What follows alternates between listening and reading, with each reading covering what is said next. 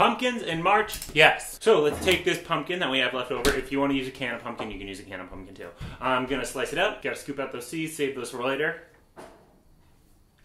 Put it on a cookie sheet, roast them in the oven. Preheat that oven, of course. Uh, while that's going on, let's get this curry bit going. So I'm gonna chop up a bunch of ginger. I'm gonna chop up a bunch of garlic, some onion. I'm going to take a couple blocks of veggie broth. I just have this in the freezer, just chilling. Uh, if you want to use a bouillon cube, that's cool. If you want, you can just use water. I like veggie broth because it's got more flavor. Put that all in with a bunch of water. We're gonna need a good amount of water. Uh, and I'm going to add that all into the pot. Those, mmm, so good. All right, and then we're gonna add a bunch of spices. Now we're doing like curry, but it's also a little pumpkiny. So we have like a mix of like pumpkin and curry spice, but it's like a savory pumpkin, not like a sweet pumpkin. definitely want cumin. We got paprika. If you want a little hot sauce, you could throw some hot sauce in there. Turmeric, little cinnamon, and then tiny bits of like coriander, nutmeg, and clove, just a little bit, not much. Generally speaking, go easy on the spice. You can always add a little bit more later. Take a lemon, slice off the ends, and just slice it, scoop out the seeds, and just throw the whole damn thing in. It's gonna be great. Don't worry about it. Then let's take some lentils. I'm just gonna take a one pound bag of red lentils. I'm gonna rinse them because sometimes they get a little dirty, so it's good to rinse them. Pour those lentils in there. Make sure there's enough water in there uh, to make it all good. Uh, our pumpkin should be done, and when we take that out of the oven, we can scoop out all the flesh, which is great. And then we're gonna put it in the blender with a bunch of water. Blend it all up. Let's put that in as well. Salt,